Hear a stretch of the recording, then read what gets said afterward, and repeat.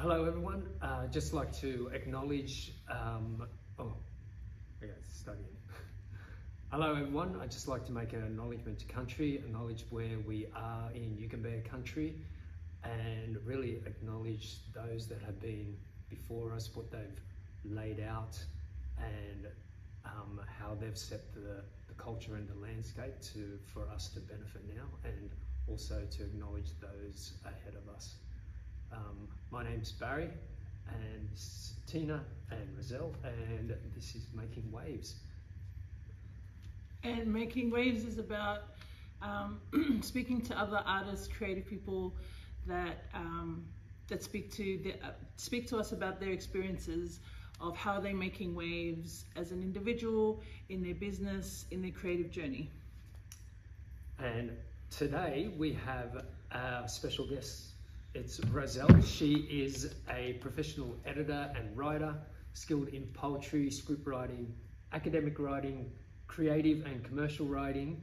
And how she's making waves um, is, especially in the writing context, what I've discovered is that she's writing creatively in a in legal context um, mm. and her ability to make arts performance and theatre really accessible to, to everyone so i just love that um, she's just completed writing and directing at the toucan uh, club um, at Pip Theatre, and that's in Milton in Brisbane. If you ever get a chance to go to that, I'd, i think it's an amazing thing. It was only the first year this year, but um, yeah, I, I, looked at the program. It's, it was incredible.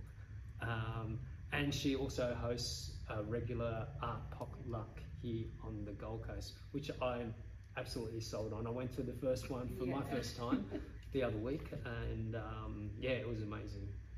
Um, so, and also, Roselle is an editor for a local boat magazine. Um, and what else have we got? Um, yeah, I, yeah, that's what we've got for you at the moment. But yeah, amazing um, artist in her own right.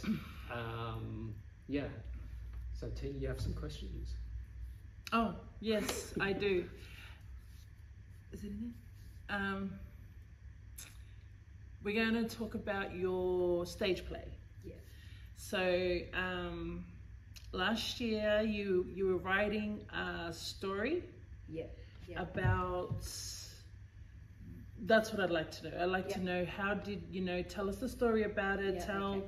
us about the process of how you did it all, and then came to the event and your actors. Okay. Well, that's a that's a a long story. it's a story in itself. yeah. So um, last year, I was approached by uh, a Filipino community group in Brisbane, um, and they said that there's a theater called PIP that was hosting a Toucan Club Festival, which is a sort of a community type of festival where they allow independent uh, how do you say that, uh, actors groups or performance groups to perform uh, on in their theater for that period of time. So that ran from November to December. So mm-hmm. it was, I think, uh, lasted six weeks. It was a whole six weeks of performances. So uh, when she said that, uh, when I was asked by the group to write a script for a one-hour play uh, I I didn't I didn't really hesitate. I just said, oh, that's a great opportunity, you know, to, to write something that's uh, that's about being Filipino. Although that wasn't a requirement by the theater, uh, but because it was a Filipino community that asked me, then okay, let's let's sort of mix it all together. Um, so I had a uh, I had a picture of what the stage looked like and looked at what Pip Theater was all about. So all the details were there. And so I thought, oh, so it's a bit more relaxed kind of space. It's not really uh, hardcore stage acting where it has to be like, you know, how some, some, the way they do it is like for every move, for every word, you have a certain move. So mm-hmm. it, it, I realized that, that that Toucan Festival wasn't like that. It was mm-hmm. just about being able to tell your story. and so we were, so I we went brainstorming. So we had the brainstorming session online, and that was how we sort of got into the story itself. But yeah, of course, I needed them to tell me what what what kind of stories do we want tell during the during the play.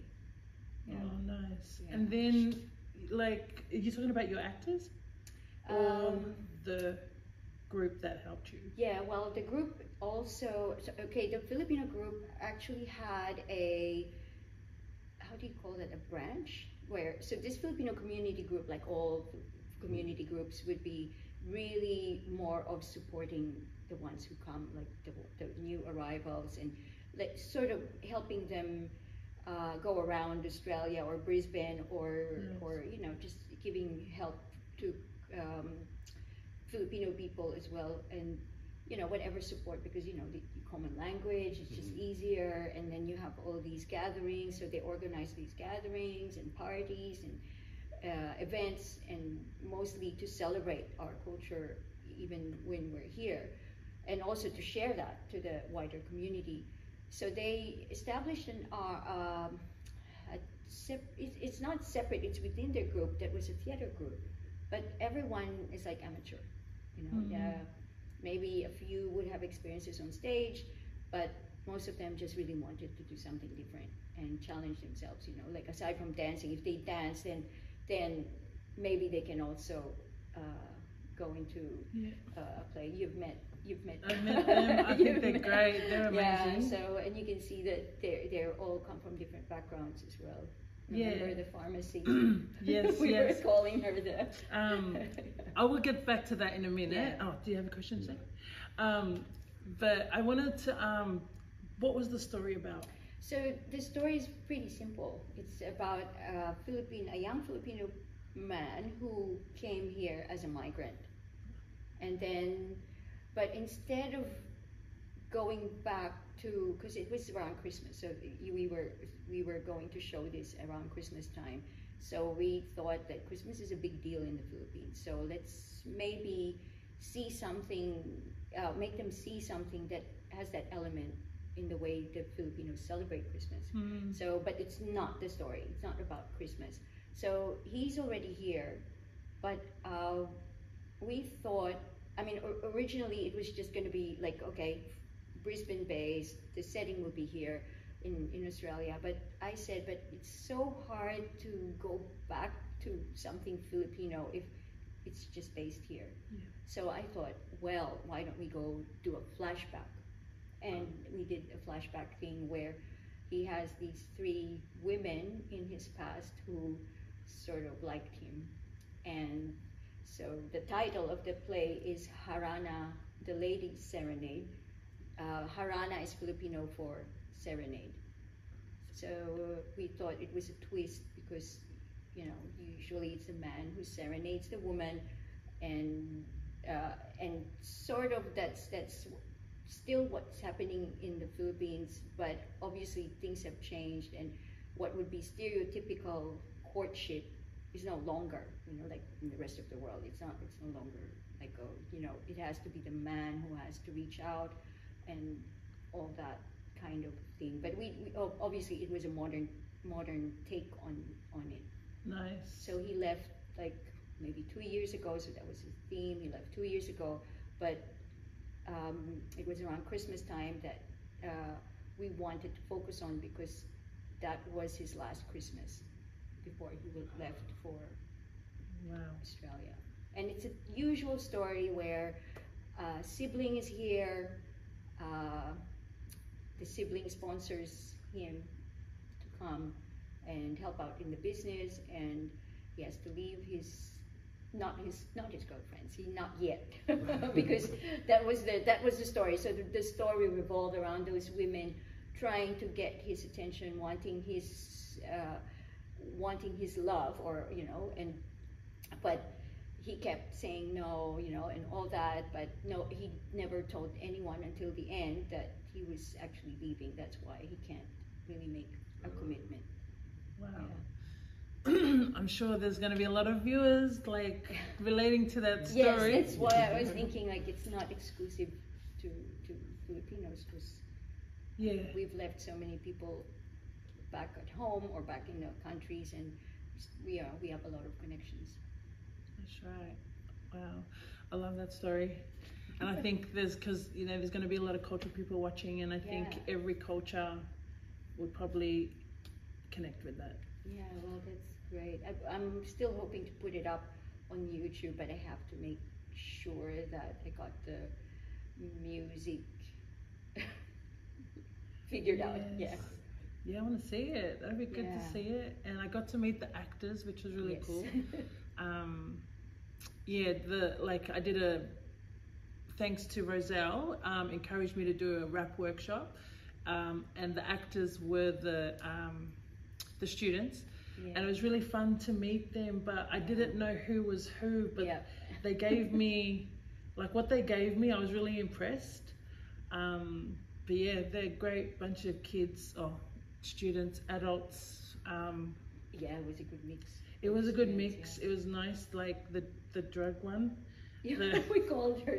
Like, She was a pharmacist, She's a pharmacist, so and she rapped like because I love drugs. and I thought, oh wow, she's cool. Yeah, yeah. So that was funny. Yeah, she's she. Well, that particular actress is funny. So she is like that. She is by nature really funny, but her Ah. role that she auditioned for was the serious one, the religious and the serious one. So I think that's why she wanted that challenge, where it's not her. You know, she's not being funny in that. Well, the whole play is a bit funny and light, but it's not the character that that that Mm. she normally plays when she when people ask her to do something she's going to be doing comedy but for this play she took on that serious role And so, where did you get these actors from? so it's from that filipino group who Oh, so they were already in there. yes they were already there. And so that's how they just reached out to me just to write Oh, the play. And then uh, what happened was I was so I did write event you know I ended up writing the play with so many changes together with the actors but we didn't know who was taking on the role. So when the when the script was finished I gave it back to them and said here's the script then you can hold your auditions let, let the actors audition for the parts Wow. yeah So you didn't really take all control of it. You just wrote it and gave it back to them to well, decide. That was, that was the Wow. that, that was how it was. Yeah, because Okay. usually script writers will just be given that task. Oh, really? Right, yeah, yeah. We, we, we wouldn't know who who would take on the role because Okay. Uh, unless I unless it it can happen the other way around, but normally writers would not even meet the actors because it's really up to the director to decide like uh, how it would be delivered, and it's who I was talking to mostly at that time was the one who was supposed to direct. So we, we had a lot of conversation so that the director would understand what I was trying to say in, in the Mm. script. Okay, so to my understanding, I thought, did you end up directing it at the Yes. end? that's, that's, That's, why what, it's that's what another story. now I'm. I'm like, Yeah, oh, yeah. you wrote it, and then that was it. And I thought, but I thought you directed it. Yes, so that's the other, that's the additional story to it, that there was an original director who was assigned to, to help with the play. And that was part of the Filipino group. Um, however, what happened was maybe there was miscommunication or even during the brainstorming, probably there was this, you know, mindset from the director's part that because obviously everyone everyone contributed ideas. But whatever came out of the script was the final one. I mean if they if they suggested something that i felt didn't really fit or i couldn't make it fit then i didn't force it you know like uh, uh, maybe an example is they want more people they want more extras and the stage was really tiny. It was a six meter by four meter stage. So mm-hmm. you can't have you. I already I can't I can't let go of the four main characters, and that's a lot of characters already. You what what the Pip Theater said was you know at the time maybe maximum of four. So I did have five characters because but then I made sure that in the story there was two at a time, and at most three at on stage at the same time, because it's hard to move. So that's part of the thing. I I wasn't when I wrote it. I wasn't thinking that I was going to direct it, but I was already thinking that I needed to help the director and the actors to move in that space without having to trip over someone or you know especially when the lights are out and then you have to change and move and it's like you don't have that space so that was already in a way my vision of the play and i think that's what it entails as well with script writing that you envision what it would look like Wow. I wasn't sure if the script writer was the director or they're different. the different yeah Okay. Yeah, So in a when lot you're- of the plays, yeah, it's very. Uh, but there are famous people who, you know, like uh, maybe an example would be like uh, Hamilton. You know, there's the script right. He's the script Lin Manuel, the one who does the Disney, the modern Disney Yeah, one, yeah. the one Moana. He, Yeah. he Okay. did Moana. He's also the songwriter. He's like the arranger. And he's like Oh, okay, a wow. multi-talented. So Wow. yeah, and he's he directed Hamilton. He wrote the script. He did. He wrote the songs, and he's like, wow, you know, like how Wow. how prolific. But maybe it's easier for him like that. Maybe it just works for him rather than. Be interesting his background to. Yeah. Have you seen Hamilton? I've heard thing, good things No. about it. I've never, I never saw it. Yeah, my son really enjoyed it, and he was 11 at that time, and I Oh, wasn't really? sure because it was three hours. So Yeah, yeah. year old to make a kid sit down. But he enjoyed it because Lin Manuel is Disney, you know, so he knows okay. how to Okay. keep it maybe the energy up and Nice. Moana as well like you know Yeah. like keep that funny Mm. like you know like you have that so it's it's a lot of that if you're multi-talented you can pull it off but for uh, for a writer for example a lot I've met some writers who probably wouldn't have the temperament to direct Mm. because writers usually just want like this is what I wrote I'm, I'm just I, I work in this space Mhm. and to have, have to deal with people and tell them that this is how you deliver it that's in, that entails another yeah different skill It's good to know that. I like, you know, just thinking from a music perspective, mm. I would just do write and perform it. it, yeah And Yeah. I never knew that, you know, thinking as a, what do you call it, film media? yeah like I didn't uh, think you- you write. that was Georgie. Shout Um, out. Shout Yeah. out to placemakers, Yeah. Georgie. um, I didn't think that um, train of thought lost. or like you you um, Yeah, if you screenwrite or screenplay, you sc- what yeah, is it uh, called? playwright yeah Uh, playwright. I didn't Yeah, think if you write a playwright, you pass it on to someone to yeah get yeah someone uh, someone else to to sort of direct it. direct it yeah i mean uh, uh, what happened was i thought that, that my script my job was finished after writing the script Mm. Yes. you know and i was just gonna watch once they've sort of rehearsed and go back and look at what they've done and all that and maybe tweak a bit that was my plan that was the plan I'm so glad, Rosa. You're so good at all these things. You know, every time, because I don't know if you know, but I actually met her from Crossing Borders, which was two years ago. yeah, And now our journey has been going like closer and closer. Like we're just doing different stuff every time we see each other. yes So, like when I met her, she was a poet, Yeah. and then now she's screenplaying. Sorry, s- Um, screenwriting. uh, uh, Playwright. playwriting sorry Playwriting, get it, get it right. Playwright, playwright.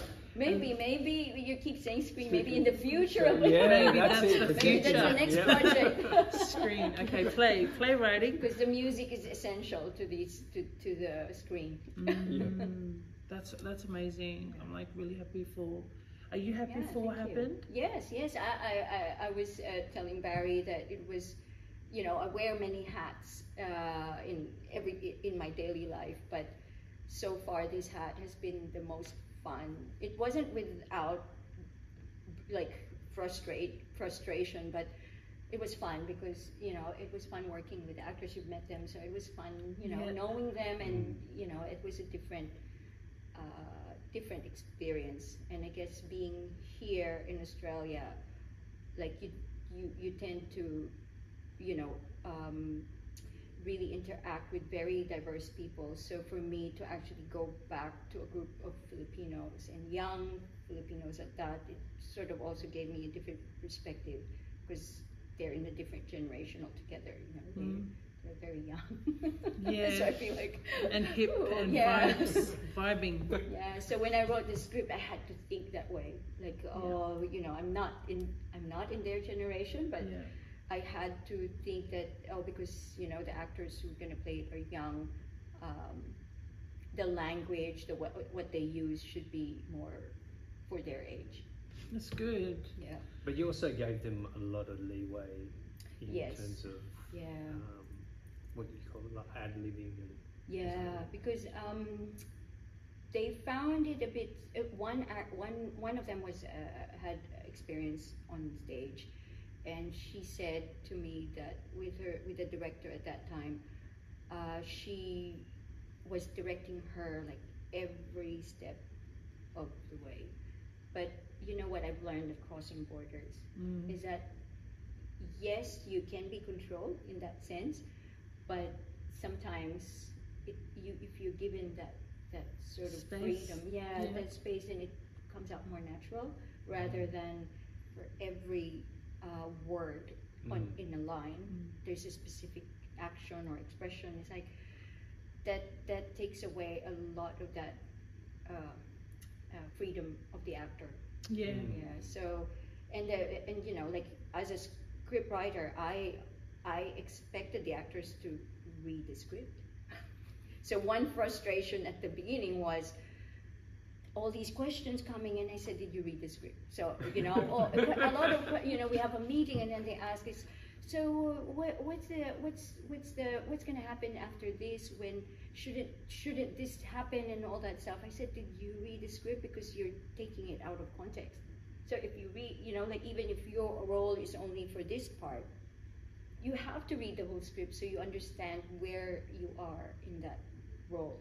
Mm. Not even if you're not playing a role in, let's say, let's say if there were three segments to it, if even if you're only in one segment, you have to read what happens in the next segment so you understand.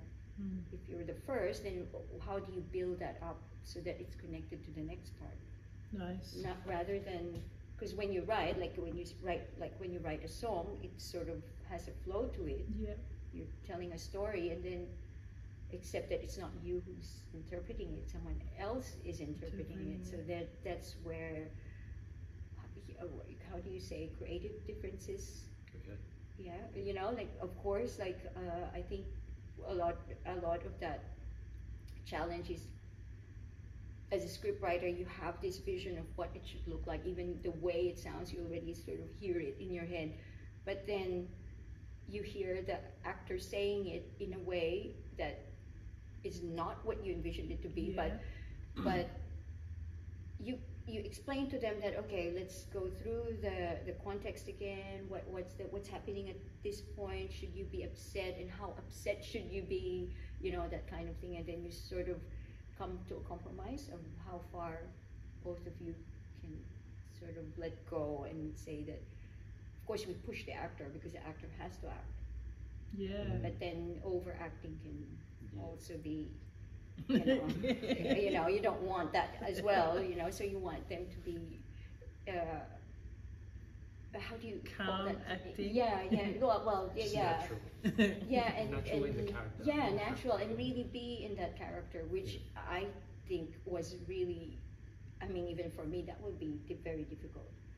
And you know, like how how do you be in character? You need like how many days of like practice, practice, practice. And again, I I think for the young people, it's they don't like to practice every day. you know, like even those workshops. So my first two sessions was nothing of the script. It was just about breathing exercises, physical exercises. And I said, okay, these things I'm doing because every day when you wake up or when you're having a shower, just go through that vocal exercises. Mm-hmm. You know, speak, open your mouth when you speak, vocalize, like, because one girl uh, in one character had to sing a full song. but she's a singer, so that's an advantage.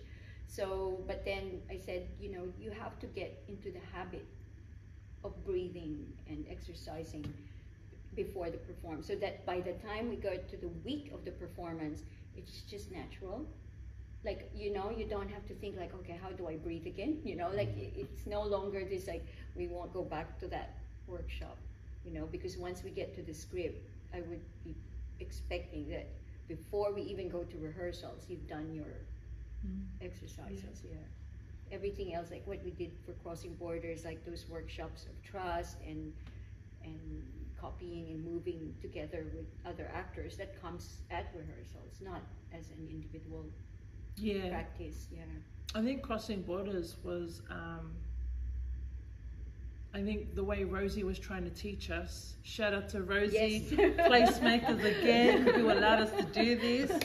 Um, it was more of trust Yes. and safety. Like, are you safe to tell your story? yes. knowing that is anybody else gonna um, take it you know because some of those Yes. ladies were hiding Mm.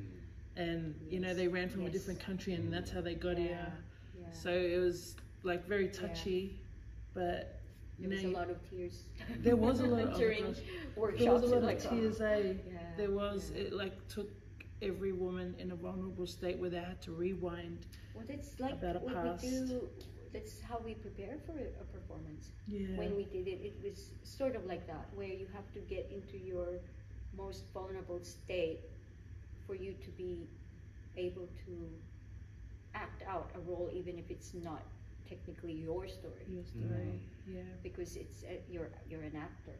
You're not. Um, so it's it's pretty the same because one of the things that that they had to do was uh, what, what one of the actresses said that this is what I do. I find, let's say, someone from the Philippines who she looks, she, she thinks is the same as her character Mm. based on the script, and then she she imagines how this person would act it out, and then she goes into that zone.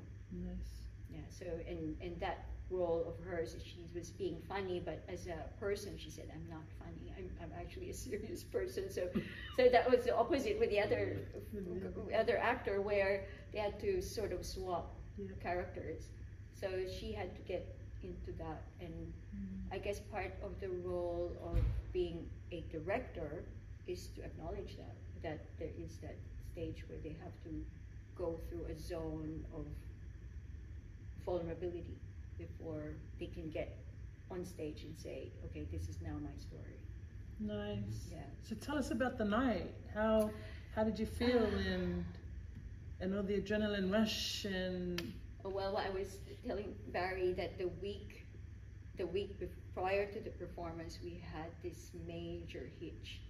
So again, I think as as a, as someone who wrote the script and also directing, the advantage was because I could see that there was going to be something wrong with one of the scenes because the actor didn't really practice that scene very well and even if he did he wasn't he again we're talking amateur actor so Mm. the expectation is not you know i can't expect that you know to to like oh you know you have to be you have to be in character or you lose your job kind of thing we didn't have that we didn't have that opportunity to Yeah. get someone else we were close okay we were very close to getting someone else for the role because i've uh, i've heard that some people can memorize a script in 48 hours Uh, but, but that's professional, you know. Yeah. They do that every day. It's like Yeah. their that's their life. So, um, but for that particular week,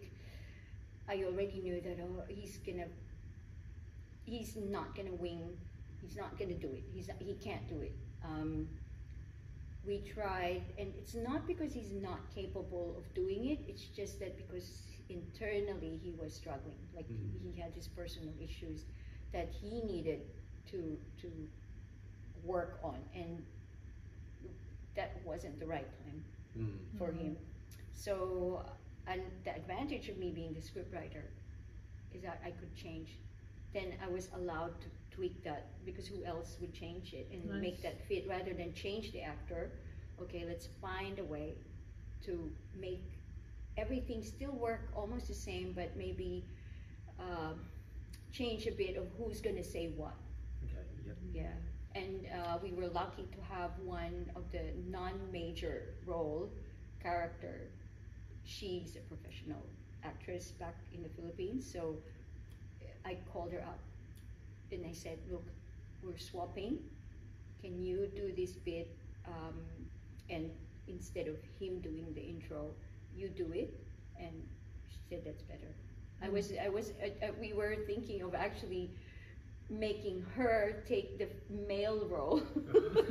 And you know like doing Yeah, that. yeah. Doing her own. yeah yeah but then she actually laughed at it and said i'll be laughing the whole time no way and you only giving me like two days to prepare for it. So it's like no way i'm gonna do that. But she said that uh, uh, you we, we have to think of something. So it, it it's it's not just about the being there on that saturday and as as you probably can imagine that we could have pulled out could have pulled out and said it's not good to perform if we're not ready right? So and it was a call that was already almost Wow. there as well. You know if we can't find someone to replace the actor then we pull out. Um, obviously the, all the investment with the time and the effort would have gone to waste but I mean, well, in those situations, someone has to make those hard decisions. Mm. Um, but we pulled it off. So I guess it, your question whether, yeah, it, it was something that I wanted to happen. Yes, because it actually was staged, Well so that was good. And then with those changes, uh, of course, it was a bit of a disappointment because I really wanted stick to the original script. Oh, right. And I can't imagine if the if the director wasn't me, Mm. and she and that director asked me to change the script, we would have had a fight.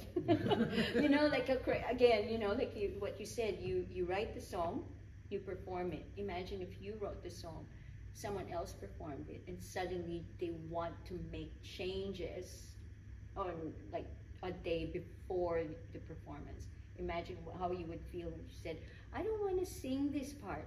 Yeah. imagine how you'd feel. So I said it was a good thing that maybe I, I took on the role Yeah. of director. I think that's a good opportunity for you because it actually you're learning directing. Yes, I was challenged without.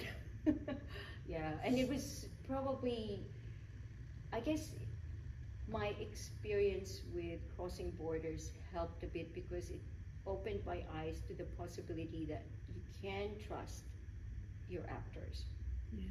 you know like you, it's not it, yes it's my story and it's my characters but i have to trust my actors that they have to do it i'm sure it doesn't happen in major productions because you do have to audition and really be fit for the role Mm. but in this case it was sort of like very fluid you know like um, the actors were already there but they didn't know which role they were going to take and when i wrote the script i didn't have a i didn't know who, any of the actors I, I met them but i don't know them you know i didn't know them at that time Wow. so uh, it was just by fa- like by looks and you're like okay you know okay let's see what they can Do. do yeah Right.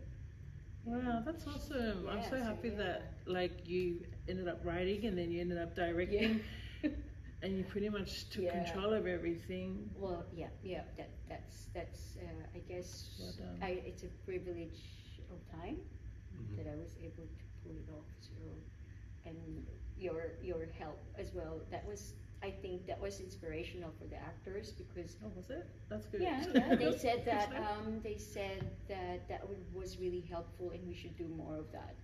But we we were running out of time at that time. But if we have another project, then it's always now we know, you know, like we we have to start somewhere, right? Yeah, we Yeah. can't just say, oh, we can't do that. Let's not do anything. But when when can you do it? Without trying. that was the eh? opportunity. Yeah. That was the perfect timing, and it, I guess it just fit all together. So good. Yeah. I'm so glad that I was happy to help. And I guess the time. timing that I met you also around that time, right? Yep. When I, I mean, we We knew just each other, finished. but uh, yeah, we just finished. it was just yeah. like perfect timing that you weren't uh, as as busy because we produced the recording, but then um, it was still fresh.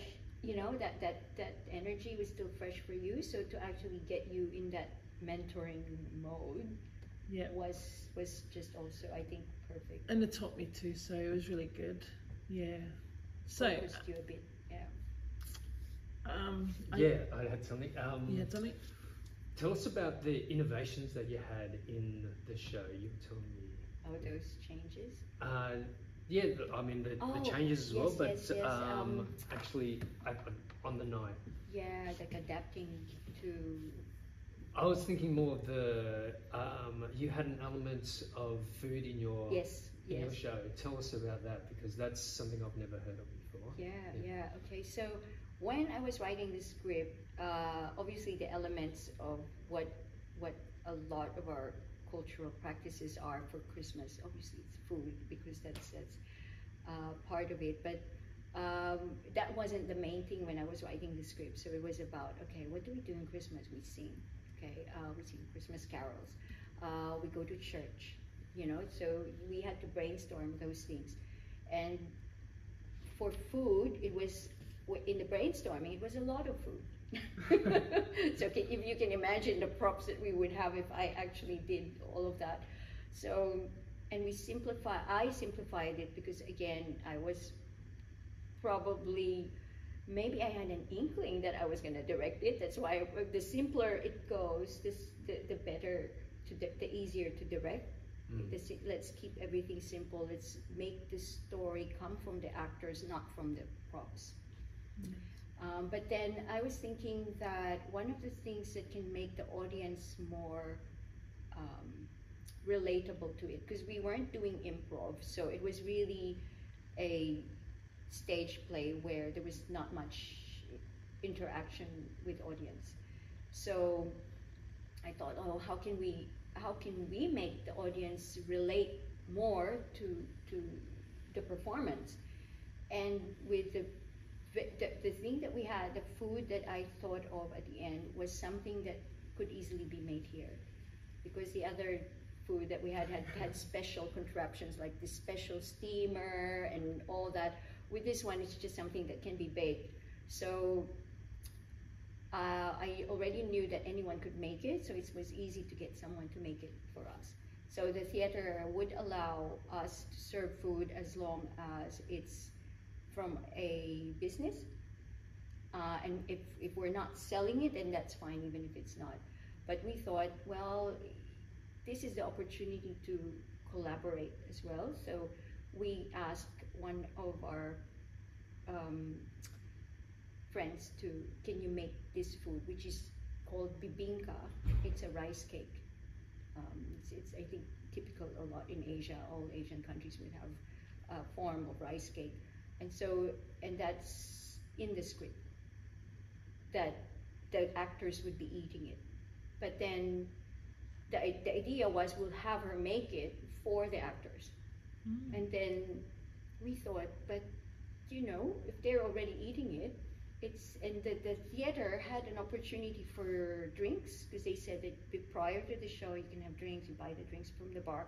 And we said, well, why don't we also serve them the food that we're talking about on the play? So that was great because yeah, it, it sort of gave them, gave the audience uh, a taste, well, literally a taste of, of the food that we would share during that time, anyway, Christmas time. Yeah, so that was a great uh, experience, and because food really is a, you know, a, a big, a significant part of, of our lives, so Yeah. we thought that they, if they don't remember what the story was, at least they remember what they ate. The rice cake. Yeah. That is so. That's a Filipino food. Yeah, it, it, it's called a rice rice cake. Yeah. Oh well, our version anyway, because Mm. there would be all the other versions of rice cakes. Yeah, I think I know what you're talking about. I've got a visual of a round Yes, yes. rice. They're like right that. Is it Um, a sweet or a? Yes, it's sweet. Okay. No, I'm thinking of um, Oh, what the savory Asians ones. eat. The buns, is it? Okay, maybe. No? Never mind. I, I, I'm thinking something round, and I thought a green Oh. leaf around. Yeah, yeah. Yeah, Is yeah. that it? Yeah, yeah. Okay. It, it's it's sort of like a, uh, yeah, it has a green leaf. Usually it's cooked in green, uh, in banana leaves. Yeah, And yeah. then that's how it's served as well. So instead of a wrapping. Yeah. That would be so good. to- Yeah, yeah. Yeah. We could we could have done that, but then we thought that um, it was the first time we we were going to use that, so we weren't sure if we were allowed to use that type of packaging. Okay. So Oh yeah, yeah. so we had to think about how how we would. So the easiest way was to just get those and then cut get a cake and then have it sliced and let the guests. Oh, that's a good idea. Yeah, because it's more familiar to them. And Uh-huh. and if you find it funny that some people, I think, uh, um, I think I don't I don't know when it was when we we did have those with the green leaf around it, and they asked if you could eat the green leaf. yeah. Yeah. So I mean, it, I mean, it's funny to us Yeah. because yeah, no, you don't eat it. It's, it's you know you unwrap it, but yeah, I realized that y- because it is natural, it is Yeah, yeah. it is an uh, it is a organic wrapping, so maybe it is edible. It'd be hard to Yeah. digest. It so. will be fi- well if you need fiber, you probably Yeah. but I tell you what, when you're talking about sweets being wrapped in banana leaves, I'm like, oh, I'm like the memories for me come back, Oh, and I'm like, yeah. yeah, that's my True. Yeah. Nice, nice, nice. It, I was thinking about sushi. I don't know why. I was like, Oh no. oh yeah, because it's also rice. and Yeah. something Yeah. wrap rice inside. yeah. Um, but what about now? Like, are you going to be writing another play this year or something? Um, I, well, I, after that play, one of my contacts from the radio station in Brisbane was asking if I could make that into a radio play. So it's sort of a, I need to rewrite it so that it becomes more detailed in terms of audio because it's a different Wow. it's a totally different. We, you, you, ca- I can't let people just say the words in the same way that probably they were saying it because the intonation makes you know the, the now this time the, the actor the voice actor should be more uh, mindful that that voice will have um, will tell the story. Itself it's not you know you don't have to worry about your facial expressions but the sound of the voice. Mm. and we did we did have difficulty on the stage play in terms of sound effects. So we didn't i didn't Get think of any sound effects because uh, i didn't have a sound guy Mm. with me who would probably be working out the timing of those sound effects. Like if it was if the scene was outside the church and it was a church day then you would have people talking around.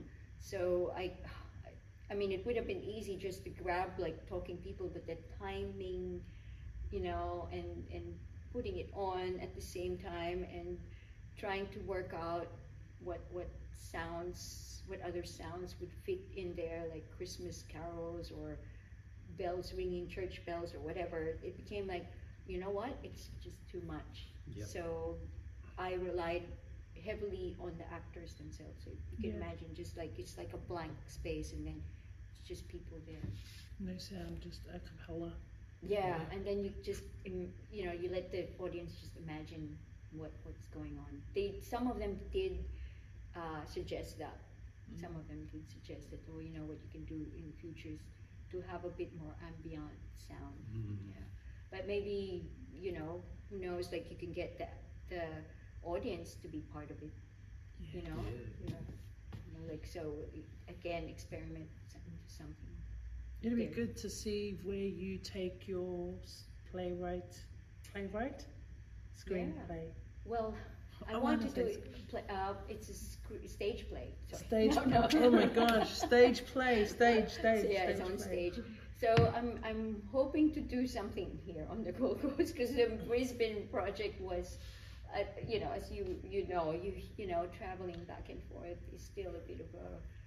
Yeah. It, it takes too much of your time and the, the energy, but um, it was good experience because to, to be in Brisbane as well is, is a good opportunity. But uh, I'm always for local, you know, like I live here. Why am I not contributing here. Mm. I think so. So hopefully, hopefully I can do something that that is more accessible to Gold Coasters because a lot of it, uh, no one, uh, yeah, it was so hard to get Gold Coasters to go to that lake. I and I understand because yeah, yeah. you know it's not easily accessible. So Yeah. plus you have to think of parking, traffic, or what else, you know, and then you have to eat there and all that Mm. stuff. So it's not, it's, it's like a day trip, you know, Yeah, just just all to watch it. Mm. Like, I think it is important maybe in future that you know we like I know everyone loves to go to Brisbane, yeah. But Oh, to perform, you mean? like yeah, Yeah, to because yeah. they think that's Hollywood up there. Yeah, yeah, But I reckon yeah. Hollywood's in the Gold. Yeah, yeah, exactly. Um, yeah. Well, we're trying to create it, right? Yes, yes, So- that's, that's, uh, that's why we're doing this, you Yeah, know, that's to make why. it, to make it local and yeah. to have that space. And I think uh, from one of our my discussions with Barry before was uh, it's when you're offered a space that's uh, um, given out of their generosity, you Yeah. know, like it's not a business kind of relationship, then you you you think you have to think that you know like it's an opportunity that's already there and yes it, it may look like it's not as uh, how do you call that really upmarket or what do you call that really this Polished. yeah yeah polished uh, um, kind of production but if you're given that space uh, because that's what I haven't mentioned that that Toucan Festival was set up by the owner of the theater itself who was very generous, who's very generous. She, her advocacy, I think, is to really offer that type of space for community groups. Because she offered it for free with sounds, lights. Uh, they paid for the sound guy, the light guy, the light people, and the, and the stage manager. So they handled all that. So if you needed props, so you, you bring in your props, they, they they assist you in putting it on, keeping it, and making sure that you know, like everything's set up and all that. And they were also offering that if you have ideas for props, and they may be able to have it because they're already a theater, so they would have costumes and all that Mm. stuff, extra curtains, extra couches, that kind of thing. Wow. So imagine the opportunity, right, where you, you can have that without you spending time looking for the right the right, right stage, and that was just perfect. So I guess w- we, we need more of those spaces.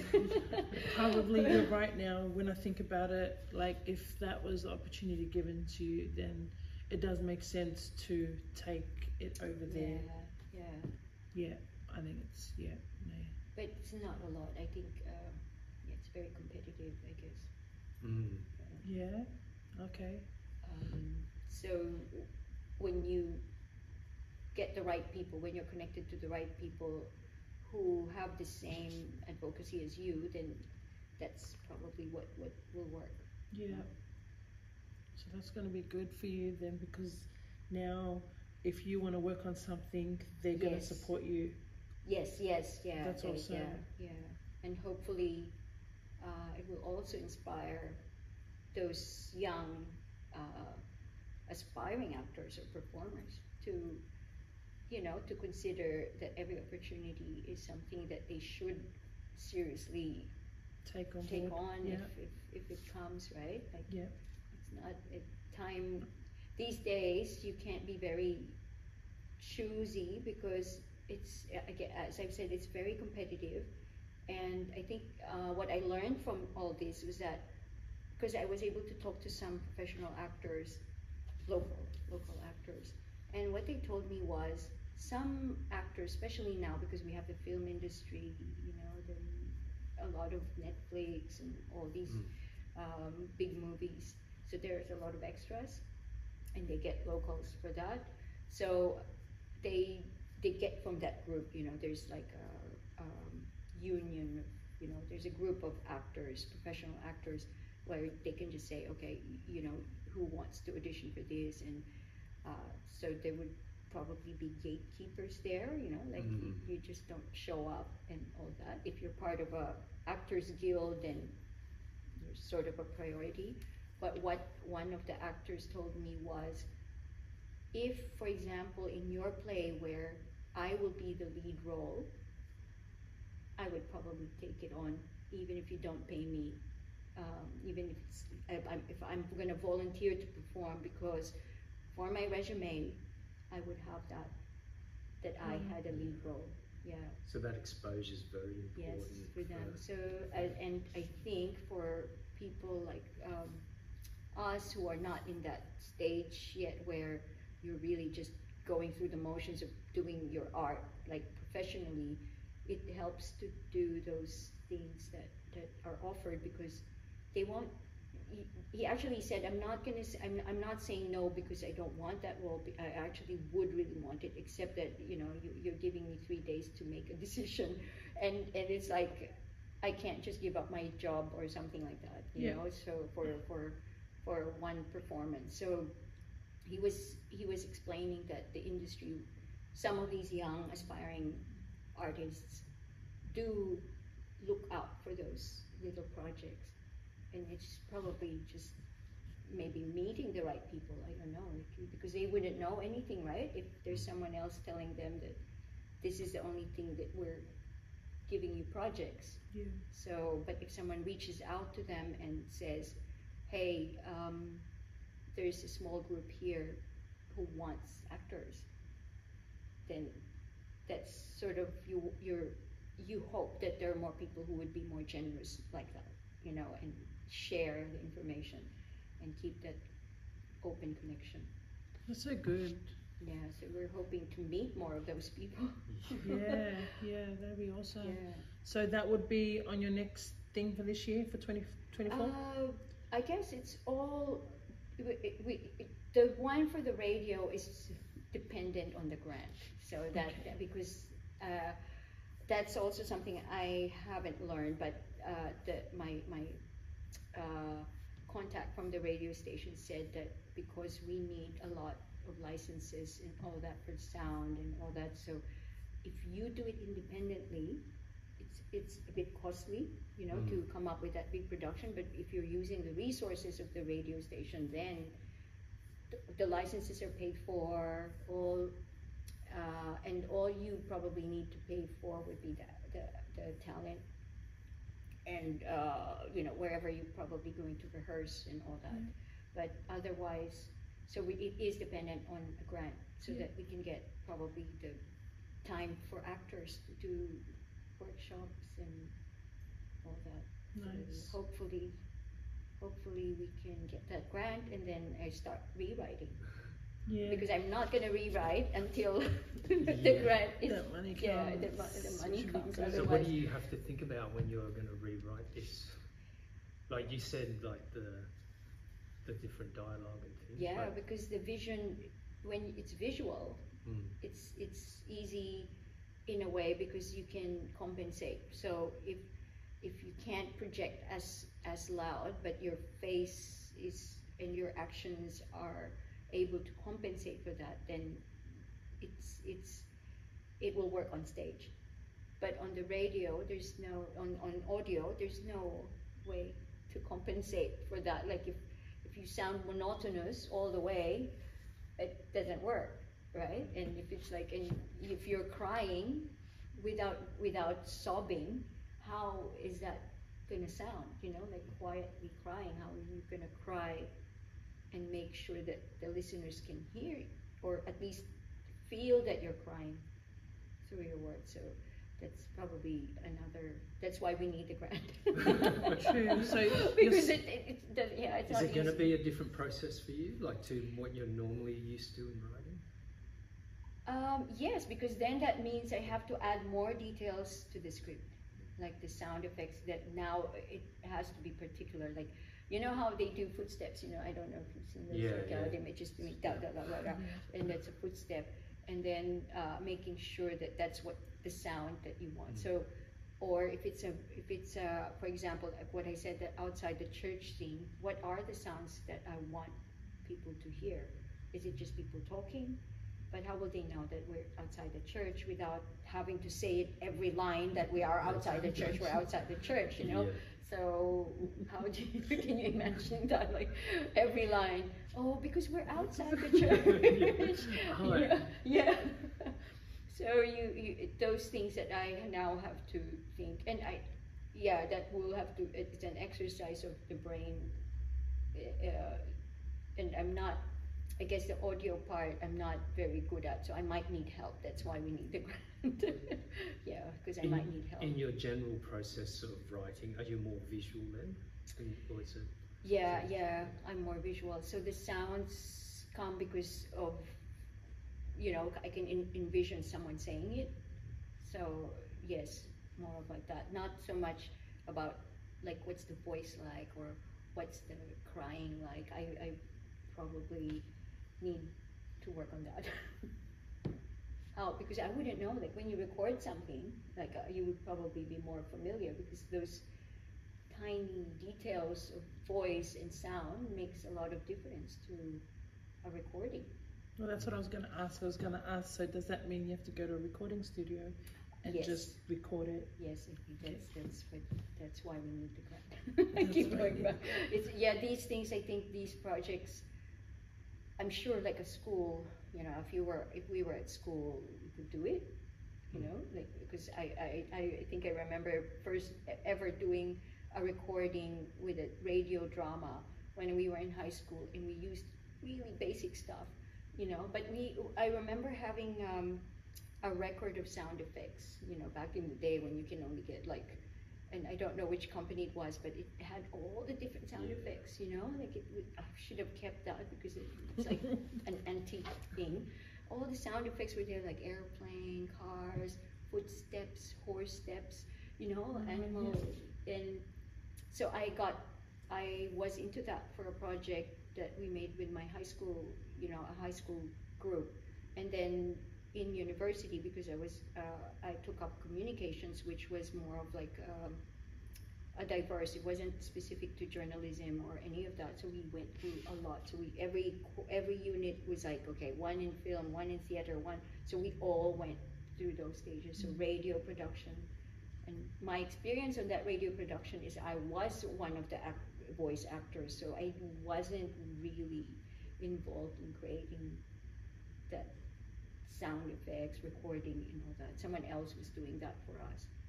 But we were there obviously because when we had to listen to it, we had to put give our input on what, what would be the best way to, to create that Nice. story in a play.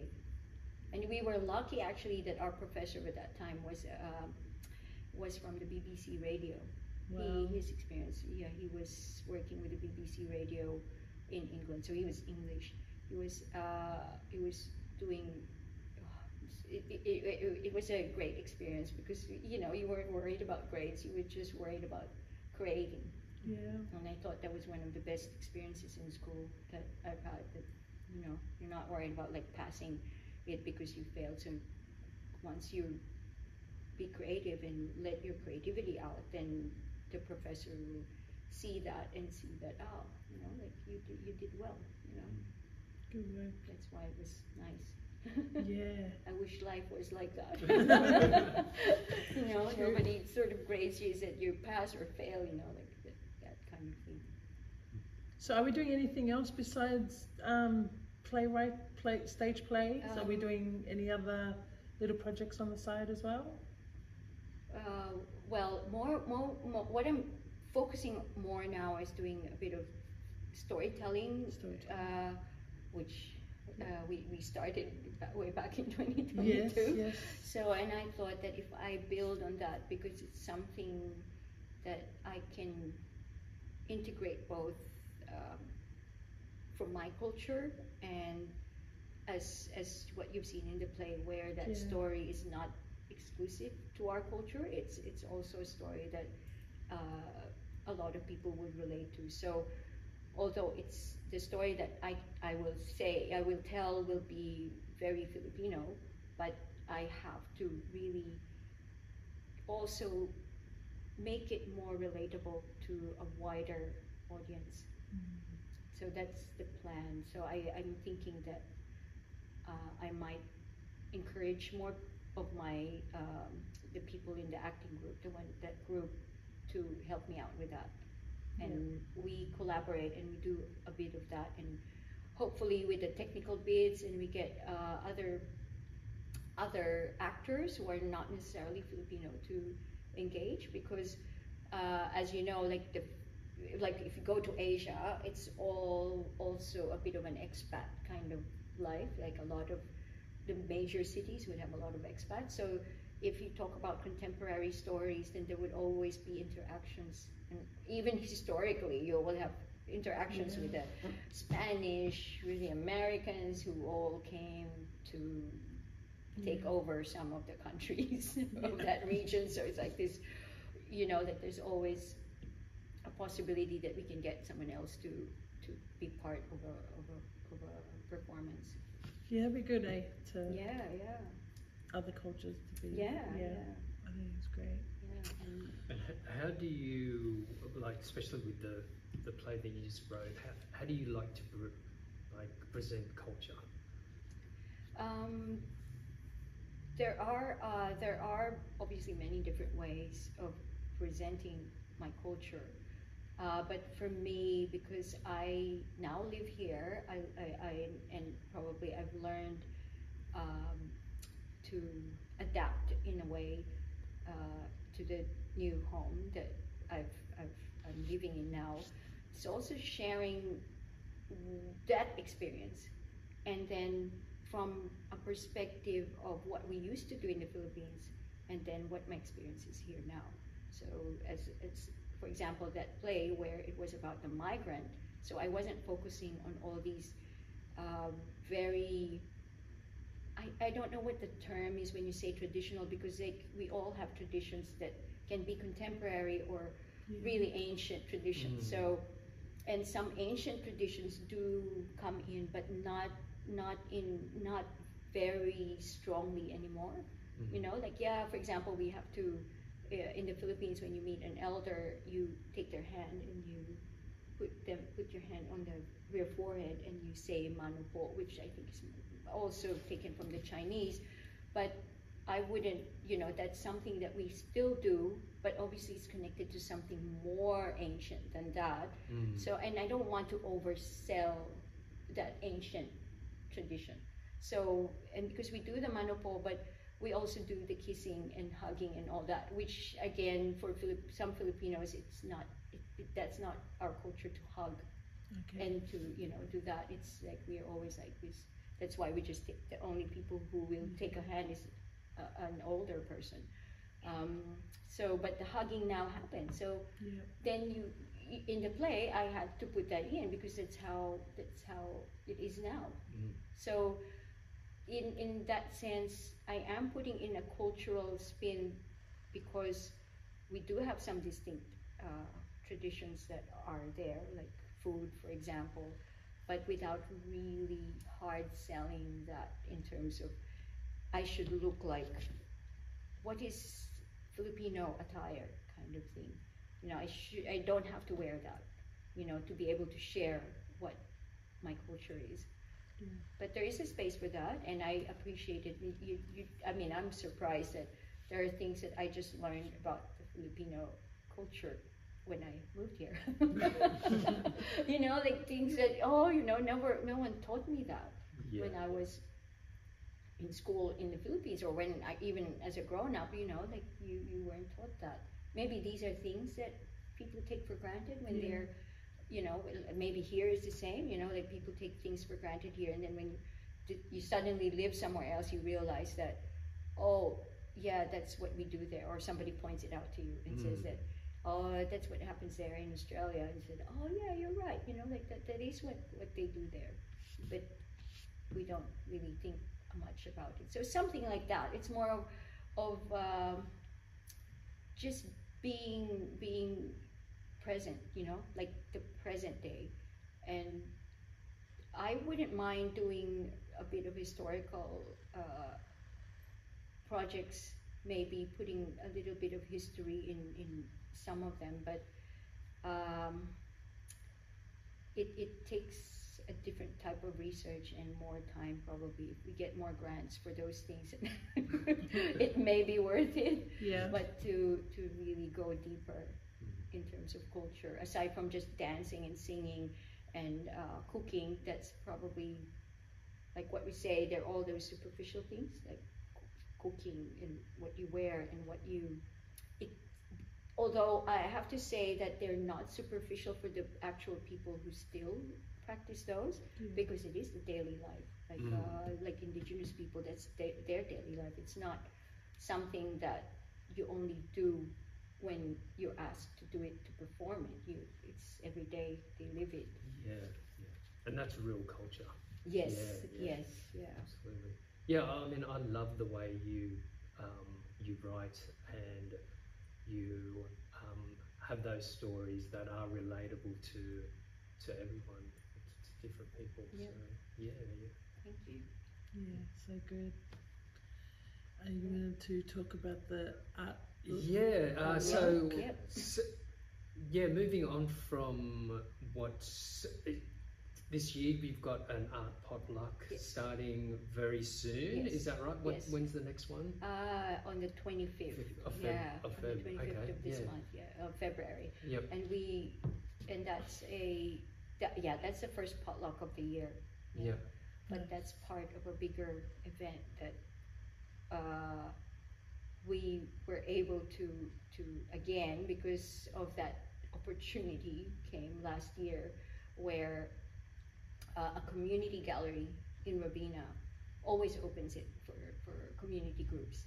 So I guess we because we, we we don't really keep an eye on those things but we're, we're just aware of all these places where you you're able to do that. And then when you inquire you sort of like get that i guess you need a bit of confidence to really ask and be ready for a rejection right? Like because when i applied what the rule was for the robina community gallery was it has to be from diverse groups it can't be a one person Oh, okay. exhibit Yep. so because it is a community gallery.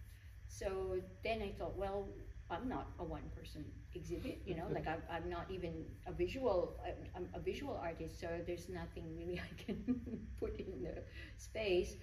But then I just applied. I just said, look, um, art and potluck, we've done this, the potluck events every month in different art spaces or community spaces, and um, maybe we can be having an exhibit. So I just put the application in, and then that's it. And then when they approved that, they said, "Oh, you're gonna be in February. You have that slot, 14 days." Then that's when I started working again. like, okay, Organize start the work. Yeah, and then you do do the call out to the group and say like artists and all that. So. Um, in a way, it was easy because I knew that I didn't have to make any artwork. Yeah, I just have to get those people. You make artwork for the exhibit, you know, like or or if you have existing art, then let me know with, with what particular kind of art you're doing. Um, and I discovered that some of our regular attendees were actually artists, visual artists, which Oh, they I never. thought they all were.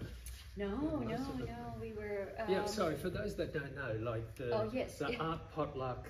Like I first ran into it. You sent out an invitation, and I read art potluck, Yes. and I was sold immediately. Like Yeah. potluck was there, Yeah. so I knew, knew what the, the Yeah, food yeah. interaction. Yes. Then art in that environment. I thought, oh, this is this is an amazing yeah. blend And of it was in that art gallery as Yeah. well. Yeah, yeah. and I thought, okay, I don't know what this is about, but I'm going. as long as there's food. and uh, so I, I made a, a, a dish to share, and um, everyone else brought food in, and it was in that um, pottery gallery, Sculp- sculptures, gallery, sorry, yeah. sculptures gallery, and um, there was all different works. So I got in there a little bit early, and I just had a look around at um, other Yeah. people's works there, and then um, I think I still didn't know what to Yes, expect, yes. and but I feel like you the, the thing about it was giving people opportunity to to be there, perform, or um, be exposed to art. Um, and yeah, it, it was amazing. So tell, tell me where you got the inspiration from and what it, what it really is. So, uh, 20, when did I get involved with the multicultural space? It was 2016 when, uh, 2016, 2017. So I was looking around for multicultural groups or any group that I thought was more of uh, concerned about making people feel more welcome. And it was in Southport where I found a card that said Welcome Dinner Project. And then I looked it up. Welcome Dinner Project was a, a project where uh, a, a community host, which is someone's home, someone who lives in a neighborhood, to offer their home for a dinner, inviting everyone else in the area, um, especially the new arrivals, the new new um, migrants or refugees. So that was a concept that uh, obviously was brought about by an experience from someone in Sydney. So I just thought, oh, it's already something that they're doing. Maybe I can get onto that. So I did volunteer for that, and we were able to hold events like that here on the Gold Coast for a while until COVID hit, and then.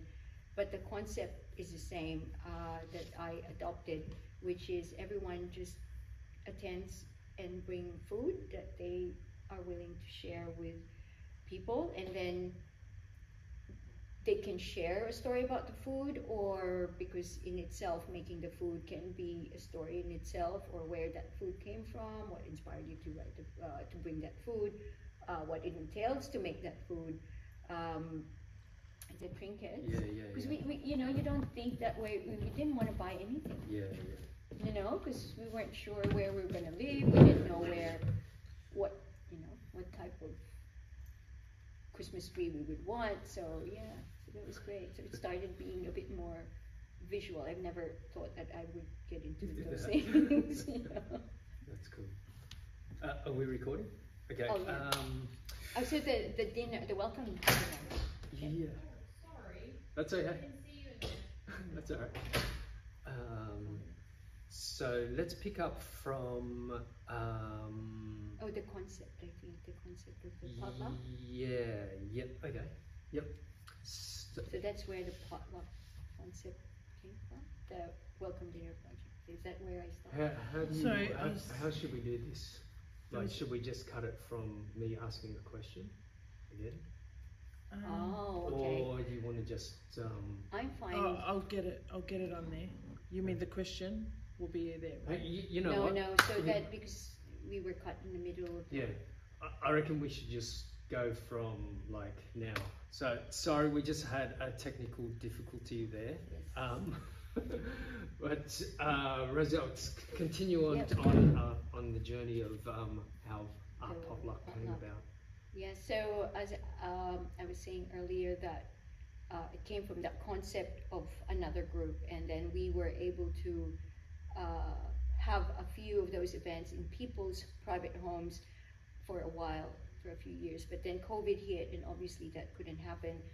And when things sort of went back to normal, we were invited by one of the art galleries in Surfers Paradise to hold poetry nights. So that's where that poetry came in, and um, uh, we were he the gallery manager wanted to do a bit more multilingual. So okay, let's uh, do a bit more of that diverse language kind of poetry, and it was in the art gallery, and the art gallery is not uh, is not um, exhibit by exhibit kind of place. It was a community gallery. Uh, every day it was just different artists, so it was sort of already a community space in a way, because the artists also are a community. So there were like 15 artists in that gallery. But we did the poetry to obviously get people to engage with the gallery.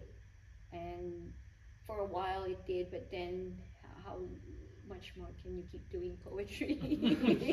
and, and- and- yeah, and getting yeah to the same audience and Uh, Rana, Rana was there for a while, but we both said that we can't, we don't have like volumes and volumes of poetry.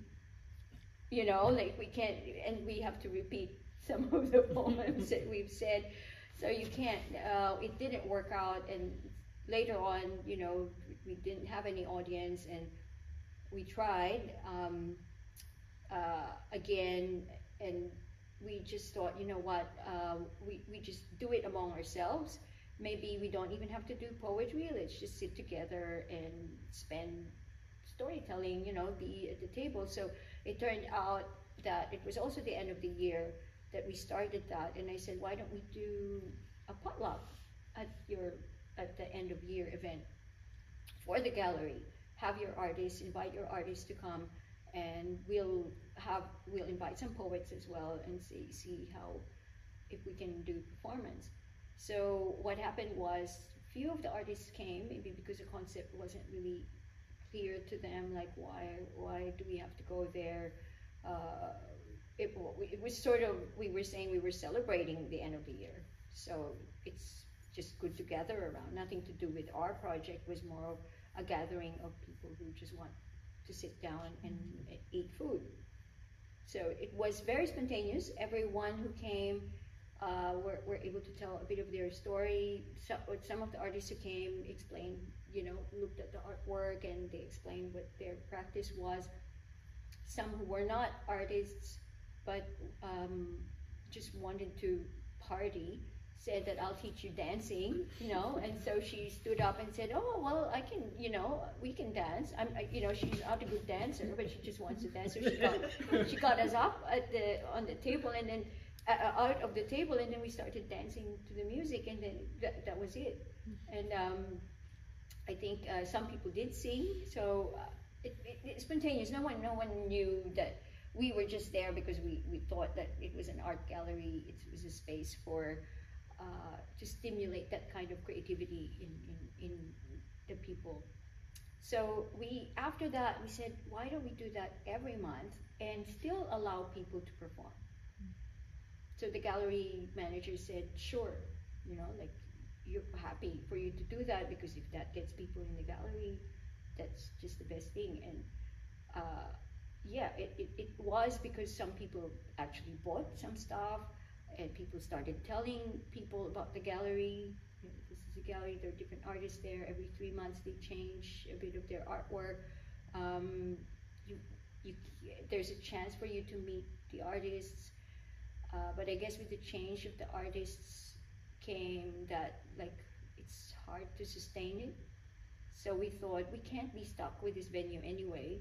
We have to also allow ourselves the freedom to do it somewhere else. Mm. Um, and my husband Andy started calling out to the different galleries. Private galleries are very difficult to be to be in, but those which are more community based, like the sculptors and the potters, uh, they allowed us to use their space. So our first year end uh, art potluck was there in 2022, and they were happy. You know, they really enjoyed the concept. Uh, it allowed people to see what was in the gallery without um, having to force people to come in, mm-hmm. which it, it's, it's hard to do. But because you're forcing them to eat there, then they're forced to look at the artwork and talk to the manager or talk to the host. And what we do in those uh, particular spaces is that we allow the host uh, allow the manager or the owner of the gallery to welcome us as well, you know, because it's their space and they can talk about what they do. And then the idea is not really so much about that art, it's just like bringing people together where if you're not comfortable coming up with, you know, just sitting in a restaurant and talking to strangers, then there's always something to talk about. Like the food that you brought that in itself is could be something that is the start of a conversation or an artwork that you see on the wall or that somebody brought with them.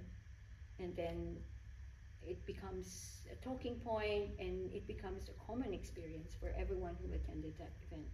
And that already is the what we aim to have, like a sense of just being with people, especially after COVID, where you were told not to share food with anyone at the dinner table, you know, like in restaurants, like, you know, two meters away, this much space, and then the next table is over Yeah, there, yeah, you know, like you, you- it doesn't, it, you know, it doesn't Yeah. feel right. Mhm. So it came to us that, well, we're allowed to do that now, then let's build on it again.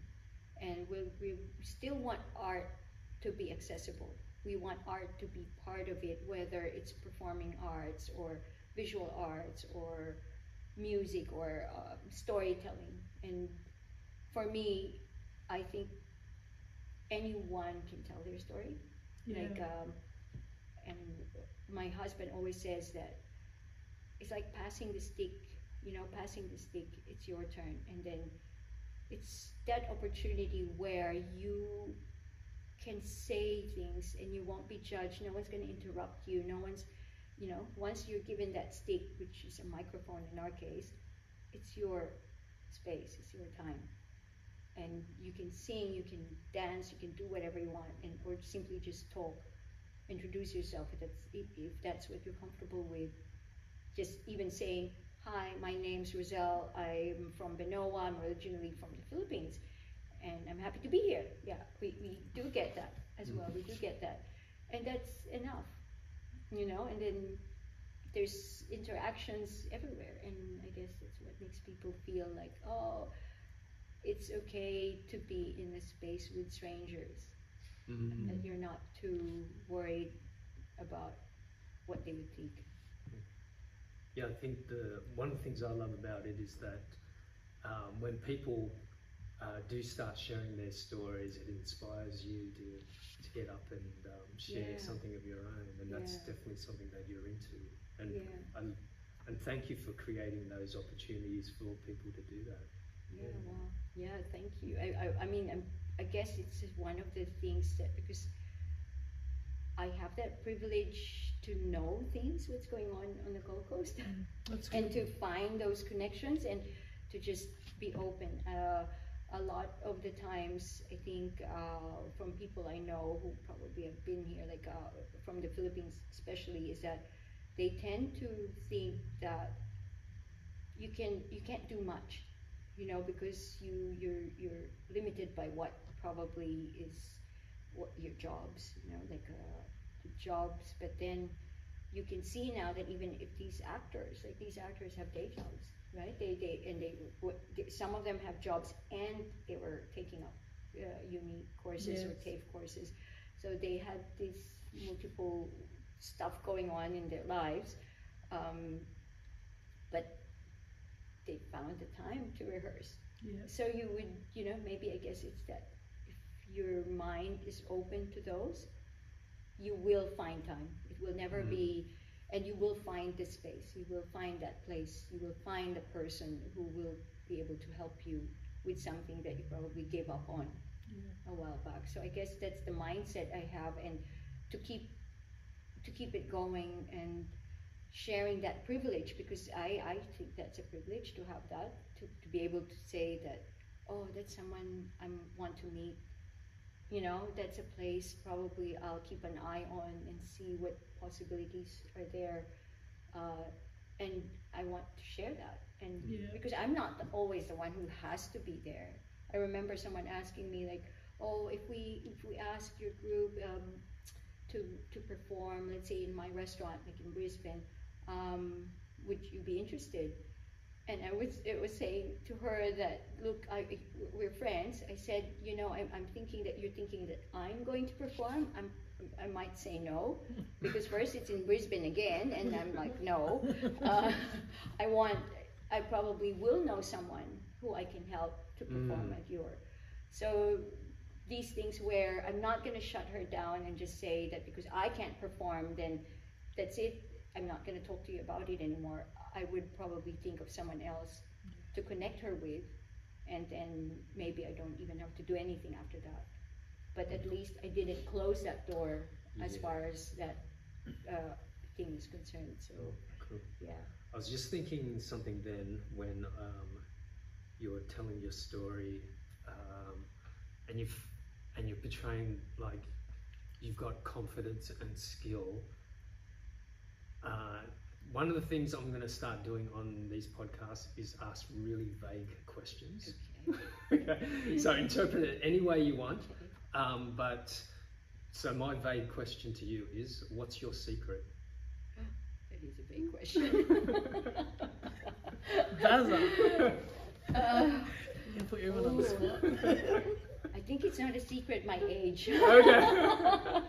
you know, I think uh, I uh, I'm thinking if I was in my twenties or thirties, would I be putting myself out there? You know, that's uh, probably like with this project as well with with uh, crossing borders. That was a reflection.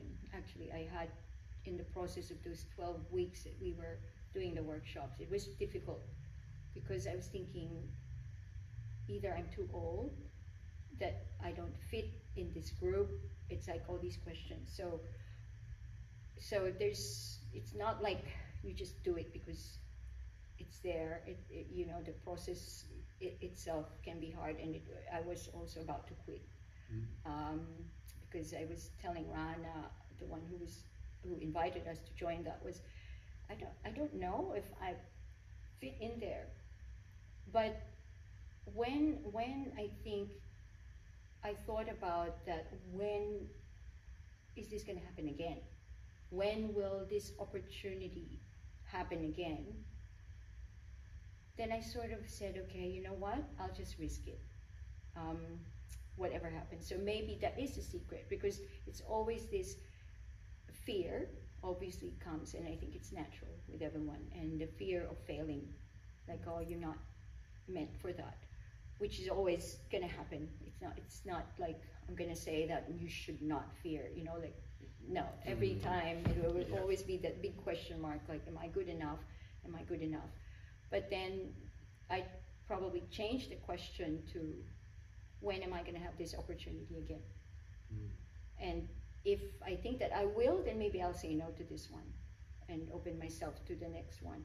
But if I think that I will never have this opportunity again, then I'll say yes.